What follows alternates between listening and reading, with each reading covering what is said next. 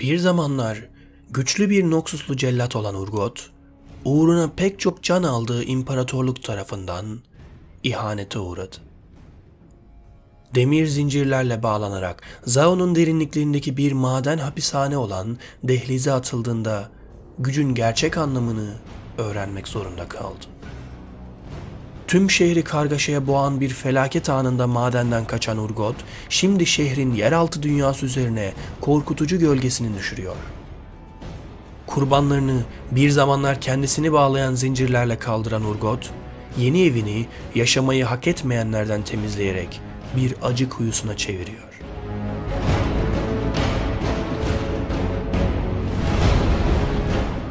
Urgot her zaman değerli olduğuna inanmıştı. Zayıfları ortadan kaldıran bir cellat olarak güçlülerin hüküm sürmesi gerektiğini öne süren Noxus idealini bizzat temsil ediyor, baltasını her indirişinde bu idealini gerçeğe dönüştürüyordu. Arkasında bıraktığı ceset yığınları yükseldikçe gururu da arttı. Göz korkutan varlığı sayısız birliğin ayağını denk almasını sağladı. Buna rağmen kaderi tek bir sözle mühürlendi. Sözde Noxus'un yöneticisine karşı kurulan bir komployu ortadan kaldırmak üzere uzaklardaki Zaun'a gönderilen Urgot, bunun Swain tahtı gasp ederken kendisini şehirden uzaklaştırmak için uydurulmuş bir bahane olduğunu çok geç fark etti. Etrafını kimyasal baronların adamları sardı ve inandığı her şeyin yalan olmasına duyduğu öfkeyle Zaun'un derinliklerindeki kimyasal teknoloji madenlerine sürüklendi. Yenilmişti. Köle olmuştu. Değerli değildi. Madenin cehennem gibi koşullarına meşhum bir sessizlikle katlanarak ölümü bekledi. Dehlizde ölüm kendini çeşit çeşit şekilde gösterirdi.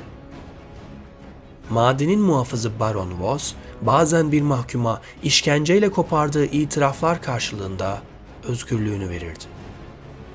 Ama kılıcının keskin ağzıyla. Urgot, tünellerde yankılanan çığlıklardan Zao'nun harikaları hakkında bilgi edindi. Şehirde özel ve mucizevi bir şey olduğu kesilmiş gırtlaklardan akan sırlardan bile anlaşılıyordu. Urgot bunun ne olduğunu sonunda Vos'un karşısına çıkarılana kadar anlamamıştı. Vos'un karşısında kendini bırakacağından korkuyordu. Ama baronun kılıcı etine daldığında vücudunun Vos'un yaşatabileceği acıların çok ötesinde azaplarla mahvolmuş olduğunu fark etti. Dehliz onu cellatlık günlerinin çok ötesinde bir güce kavuşturmuştu. Zao'nun sırrı acıydı. Urgot'un kahkahaları Vos'u yüzeye çıkardı ve derinliklerde anarşi hüküm sürmeye başladı. Hapishanenin kontrolünü ele geçiren Urgot, yeni hayatta kalma sınavlarının keyfine varıyordu. Vücudunun en zayıf yerlerini tespit etti ve bunları makinelerden söktüğü parçalarla değiştirdi. Bu teknoloji onsuz ölecek kişiler tarafından icat edilmişti. Zaun'da tüm acılar ihtiyaçtan doğuyordu. Muhafızlar artık Urgot'un Vos'un elinden aldığı alanlara giremiyordu. Mahkumlar yeni efendilerinden, Vos'tan korktuklarından çok daha fazla korkuyorlardı. Hatta çoğu mahkum Urgot'un gücün doğası üstüne verdiği ve dinlemeyenlerin boğazını sıktığı söylevlerini dinlerken ona fanatikçe bir saygı beslemeye başladı. Urgot ancak dehlize bir Noxus ajanı geldiğinde geçmişiyle yüzleşmek zorunda kaldı. Casus onu tanıdı ve kaçmak için ondan yardım istedi. Ama Urgot casusu merhametsizce dövdü ve harap olmuş bedenini karanlıkların içine fırlattı. Urgot, Noxus'u yönetenin güç değil, insanlar olduğunu artık fark etti. Ve insanlar zayıftı. Hayatta kalma mücadelesinin saf kaosunu bozacak hiçbir yönetici, hiçbir yalan, hiçbir şey olmamalıydı.